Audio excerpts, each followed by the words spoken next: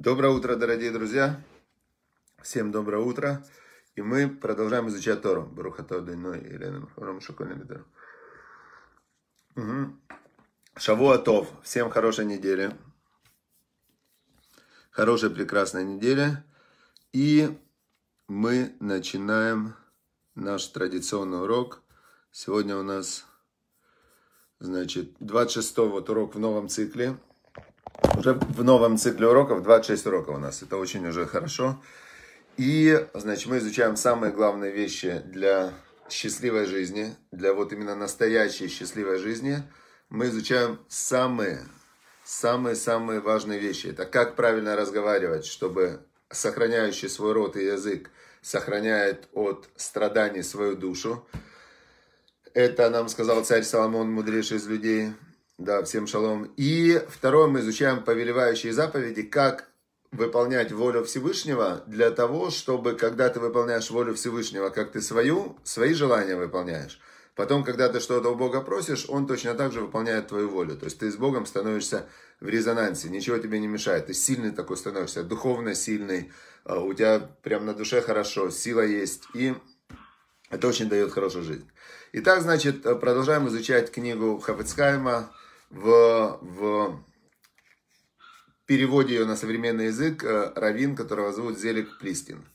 Итак, значит, э, говорит он такую вещь. Это седьмой пункт. Седьмой пункт говорит он так. Вот э, есть ситуация, когда надо, да, с Днем Победы над фашизмом, всех поздравляю.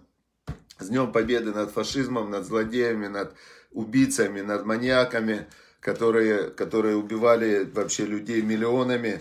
Это страшно вообще, это по всем понятиям, это хуже, хуже вообще, даже нет слов определить, как этих людей зовут. И слава Богу, что их уничтожили, победили, добро победило зло.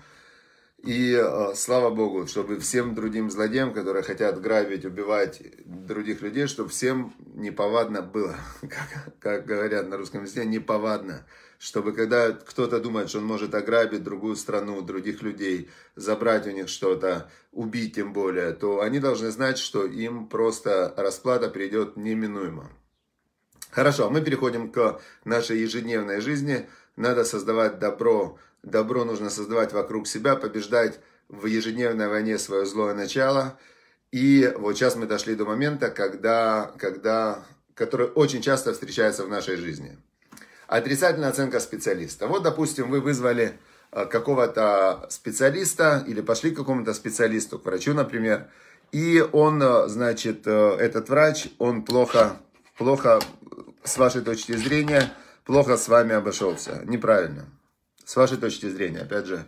И действительно плохо. То есть он забыл, например, делал вам операцию, аппендицит, забыл ножницы в животе. Ну, понятное дело, что серьезная серьезная ошибка. Тут уже это не какая-то, э, не какая-то это, так сказать, может быть, э, он плохо сделал. Он реально плохо сделал.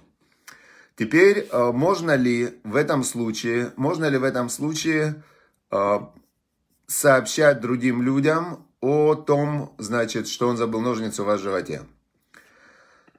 Смотрите, Понятное дело, что если вы хотите предостеречь других людей от этого врача, если вы хотите сказать всем людям, что смотрите, этот врач забыл у меня в животе ножницы, к нему не ходите, и вы этим спасете других людей, то, естественно, э, это нужно, да?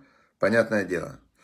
Теперь, э, но если, например, вы думаете так, врача этого, врача этого, значит, накажут, накажут по-любому, да, вы, вы в больнице подали все заявления, которые надо, там все, значит, накажут его по-любому.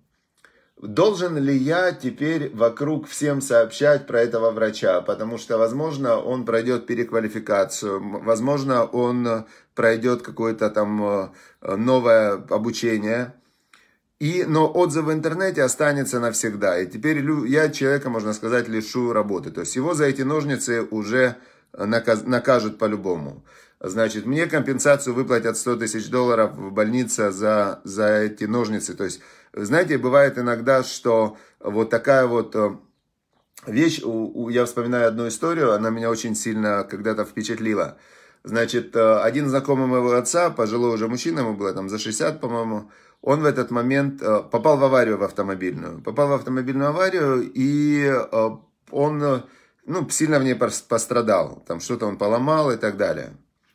Теперь он приезжает, в, его привозят в больницу после этой аварии. Он получает огромную страховку. Это дело было в Америке за то, что он пострадал. И при обследовании у него находят рак в ранней стадии, его вырезают, и он после этого жил еще около 30 лет после этой аварии. Э, он получил много денег, то есть хорошо ему эта авария принесла и деньги, и э, благодаря тому, что он обследовался, она у него принесла ему и значит, выздоровление от э, очень тяжелой болезни, которая, если бы она была запущена, то он мог бы умереть. Вот никогда мы не знаем, к чему что приводит. Но здесь нам говорят так, что если вы хотите предостеречь других людей от финансовых потерь, вы имеете право неодобрительно высказаться о профессиональном уровне специалиста. Но и здесь надо соблюсти целый ряд необходимых условий. Значит, что я в этой ситуации думаю? Я вам скажу так. Вот я встречаю, например, попал я на какого-то плохого специалиста. Что я в этом случае делаю? У меня есть определенное время после вот этого плохого специалиста как-то на это отреагировать. Значит, у меня есть вариант сесть в интернете и писать всем, там, э, писать на него жалобы и так далее. Это у меня первый вариант. Второй вариант у меня есть проанализировать, почему я, почему я не, не проверил о нем до этого отзывы. И запланировать для себя, потренироваться, запланировать в следующий раз проверять этого специалиста, очень сильно проверять как я к нему обращусь. Это второй вариант. Что я лично в таких случаях всегда думаю, есть специальные люди, э, скандалисты, вот они прям любят. Я помню, когда-то я там искал человека в Германии, помогает родителям. Мне написала, одна женщина написала, говорит, давайте я вам помогу. Я говорю, а как вы мне поможете? Она говорит, я умею хорошо скандалить, то есть я добиться могу от любой организации чего угодно. То есть я, говорит, просто в этом деле профессионал и люблю это делать. И я знаю, что есть э, вот такие любители, которые, если кто-то, плохой специалист, что-то делает, он же не только мне плохо сделал, он плохо сделал и другим людям. И среди этих других людей обязательно найдется какой-то и хулиган, и какой-то такой боец, который в суд подаст, и там, ну, просто вообще. Я поэтому думаю, надо оставить на каждом, каждому свое. Пускай со специалистами борются любители бороться, а я лучше буду в это время думать, как мне в будущем не попасть в такую ситуацию, потому что Талмуд нас учит, Тора нас учит. Значит, тот, кто, кому пришла неприятность, первое, что он должен делать, он должен проверить свои дела. То есть, если неприятность ко мне пришла, это следствие моих вчерашних решений и действий. Значит, я могу сказать, вот неприятность, и я буду сейчас с ней бороться. А могу вернуться назад и проанализировать, как я в нее попал, и как мне сделать так, чтобы я больше никогда в нее не попадал. Вот это вот то, что я обычно выбираю делать, но это опять же не единственный вариант. Есть люди, у меня есть э, приятель, э, он, э, он лев по гороскопу. Я, кстати, замечал, что есть люди, вот кто львы по гороскопу, они очень часто бойцы такие, любят. Лев это царь хищных животных. И у меня этот друг мой, он, когда что-то где-то его кто-то обидит, а он еще по профессии адвокат он уничтожает это, этого специалиста, там, этих людей, которые что-то сделали плохо, он считает, что это его как раз в мире функция очищать мир от таких вот э, плохих людей. Так я ему оставляю эту работу, а я сам в это время думаю, как мне не попадать в такие истории, и э, моя стратегия такая. Дальше, следующий момент. Но, опять же, вы видите, можно, можно, если ваше намерение предостеречь других людей и спасти других людей, то тогда можно. Дальше. Восьмой пункт. Разговоры о чьей-то физической слабости. Физическая слабость или физические недостатки человека, как его болезни, не вина, а беда этого человека. И тем не менее обсуждать физические недостатки окружающих запрещено, поскольку такое обсуждение может их обидеть или принести прямой вред. Например, помешает им устроиться на работу или вступить в брак и так далее. Значит, э, здесь есть какой нюанс? Какой здесь есть нюанс? Э, значит, э, если вы говорите о чьей-то физической слабости, о чем-то физическом недостатке, то это, конечно, его обидит. И это его, конечно, обидит, и это, конечно, сделает ему неприятно. И есть в Торе, например, там есть такой очень интересный момент, когда Бог сказал Саре, что у Сары, Сара родит ребенка. Ей в то время было 90 лет. Она засмеялась и сказала, не может 90-летняя родить. Ну как может 90-летняя родить? И у меня мужу 100 лет. Сто лет уже мужу, значит, э, Аврааму сто лет. Ну как можно родить в это? Она засмеялась. Он уже тоже старый, я старая, она сказала. А когда Бог после этого разговаривал с Авраамом, он, когда ему передавал слова Сара, он сказал, вот засмеялась Сара, значит, сына назовете Ицхак. Ицхак переводится «будет смеяться». И сказала Сара, Бог говорит, что она старая. Бог не передал э, Аврааму, что Сара сказала и она старая, и он старый. То есть, насколько Всевышний Э, бережет чувства людей, чтобы даже вот в такой мелочи мы видим, что не надо, ну, ну старый человек, ну а зачем ему говорить, что он старый? Ему же неприятно. Э, поэтому о физической слабости или физическом недостатке нельзя говорить, чтобы никого не обидеть. Дальше. Девятое. Девятый пункт. Э, у меня как раз есть на этот счет личный опыт очень интересный. Разговоры о чьей-то бедности. Например, у человека у какого-то нет денег, он бедный, бедно живет и так далее. И говорить об этом запрещено, так как может создать этому человеку дополнительные трудности. Хотя много зависит от обстоятельств. Если, опять же, вы хотите ему помочь и кому-то рассказывать, у него нет денег, помоги ему деньгами, то тогда это можно сказать. Но если вы просто говорите, что он бедный, то это не, ну, как бы это не, это может его обидеть и ему повредить. Значит, э, я помню когда-то, я когда когда-то я занимался бизнесом, потом я перестал заниматься бизнесом, ушел в Тору, я такой максималист, ушел 100% в Тору, несколько лет сидел, учился в Ешиве, получал стипендию 300 долларов, и, а, значит, а, вот, а, Александр Шаманов, если открою глаза невесте, что ее возлюбленный гомосексуалист, это будет лошонара?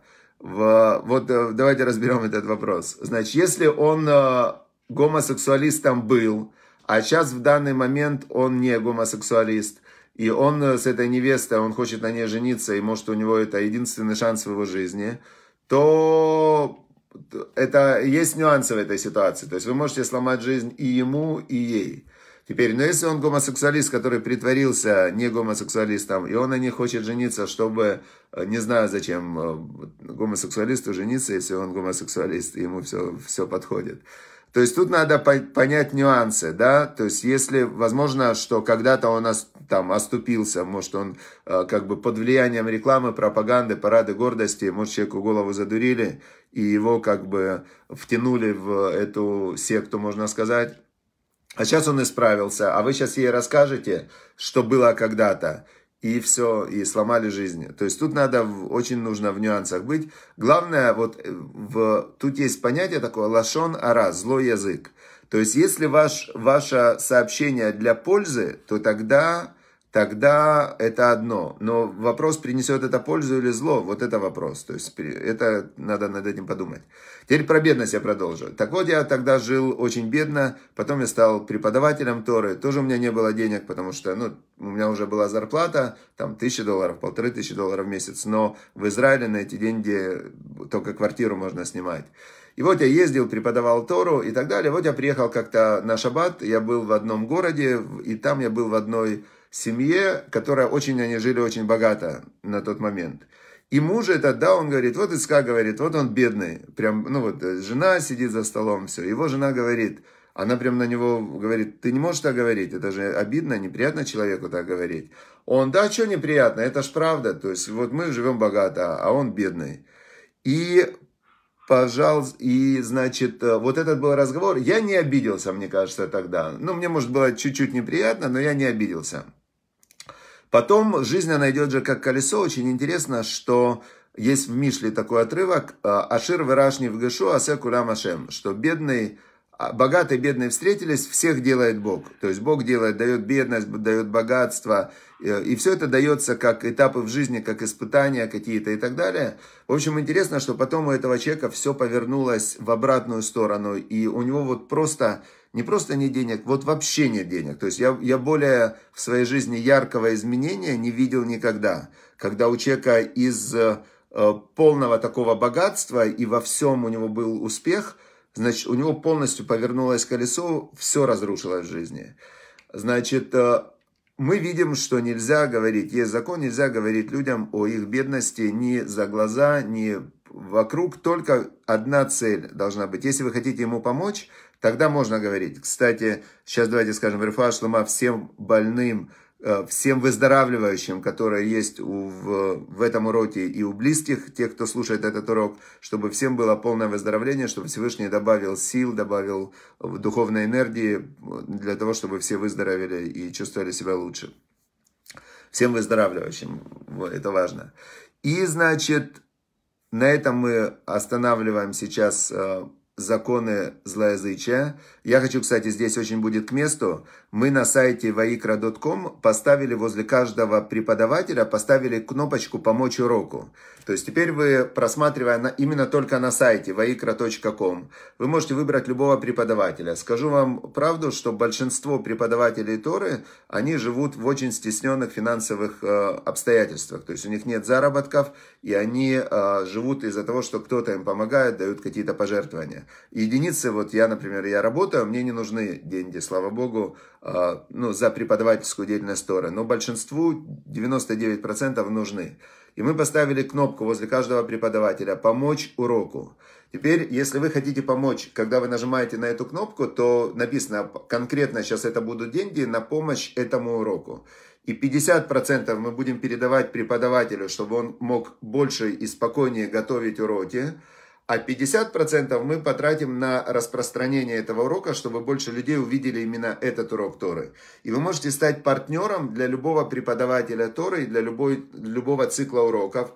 Прямо вы зайдите на сайт, выберите, нажмите «Помочь уроку», и вы можете там любую сумму, значит, точно 50% пойдет лично преподавателю, чтобы он мог готовиться лучше, и, значит, 50% на распространение урока. Это вот с сегодняшнего дня вы можете зайти на сайт, мы установили эту кнопку. Я надеюсь, что это очень сильно повлияет на улучшение и качества уроков, и э, на, на расширение вообще нашей деятельности просветительской по обучению Торе. Так что заходите прям в aikra.com и выбирайте себе преподавателя для партнерства. Значит, э, дальше. Центр тоже будет в дальнейшем, пока мы хотим, вот я хочу очень сильно сделать, чтобы основа это преподавание Торы. Когда человек знает Тору, он знает, что делать. Когда он знает, что делать, он делает. А когда он делает, все будет хорошо. И сейчас мы как раз э, одну заповедь мы сегодня начнем учить, завтра продолжим. Мы по несколько уроков учим заповедь. Значит, есть повелевающая заповедь в Торе, которая называется так. Лифнесева, лифнесева такум вадрат незакен. Перед сединой вставай и э, оказывай почет старцу. Значит, это повелевающая заповедь истории. Бог прям конкретно сказал, что нужно уважать и почитать и старых людей, и людей умудренных э, Торой, да, которые знают Тору, мудрецы Торы, даже если они молодые. Перед ними нужно привстать и оказать им почет и уважение. Значит, в этот момент, когда вы так делаете, вы выполняете повелевающую заповедь истории. Старец – это любой человек старше 70 лет. То есть в этот момент, когда вы привстали, когда он оказался в двух метрах от вас и оказали ему почет, вы выполнили заповедь Всевышнего и себе на небе положили очень хорошую такую э, основу для того, чтобы Всевышний выполнял ваши какие-то тоже пожелания. Как это конкретно делать, мы изучим завтра. И я вам советую, сегодня я разместил, но вот не успели мы, как конкретно выполнять эту заповедь, завтра я расскажу об этом. И очень я нашел хороший рассказ, прям интересный рассказ, как один молодой человек переехал из Иерусалима в Нью-Йорк, и как он там перестал соблюдать заповеди, и как потом Любавич Рэбе э, на него прямо конкретно повлиял, и он вернулся к соблюдению заповедей. Очень интересный рассказ. Заходите на сайт и обязательно выберите себе какого-нибудь преподавателя Торы, чтобы это был ваш вклад, вы с ним партнер, вы ему помогаете, и, значит, у вас будет огромная заслуга в распространении божественного света. Все. Удачи, успехов, чтобы было здоровье всем близким, всех, кто слушает этот урок. И полное выздоровление. Всем хорошей недели, удачи, успехов, добра, благополучия. Всем пока.